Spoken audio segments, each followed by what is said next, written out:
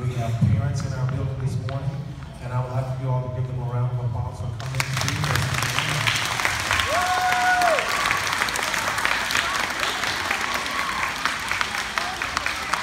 I am so excited that when Mr. C, Mr. Simpson, Mrs. McAfee, Mrs. Gray got together along with Mrs. Sweeney, uh, we want to give them a round of applause for a job well done.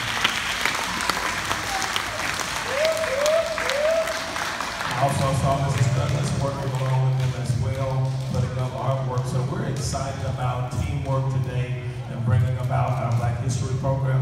We would like to say congratulations to every child. Let's have them stand up in the back, those who performed this morning for us. Let's give them a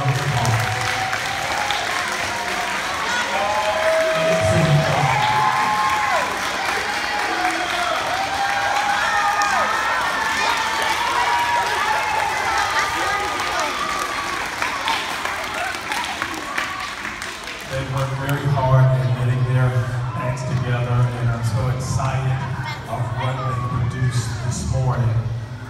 We had Edwin to read his paper this morning.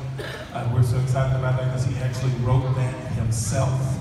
A lot of writing has been taking place in our building. Well, I'm talking, so I'm going to wait until everyone is at zero. Excellent. There's a lot of writing that's been taking place in our building, a lot of talking about Black history. As you can tell with the questioning that a lot of the students were aware of some of the information that was shared today. So I'm excited about that. I'm excited about all of the wonderful things that are happening here at Bellshire Design Center. So give yourself and as well a job well done, teachers.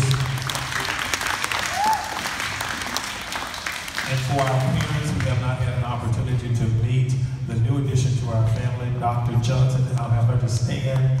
This is Dr. Johnson, our new assistant principal. We're excited to have her.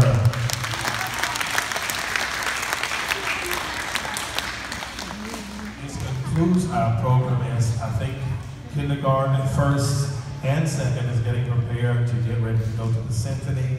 And the expectation is still the same for you to remain on